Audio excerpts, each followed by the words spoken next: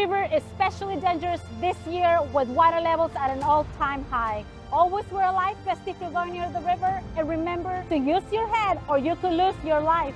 And preparing for your safe summer starts now.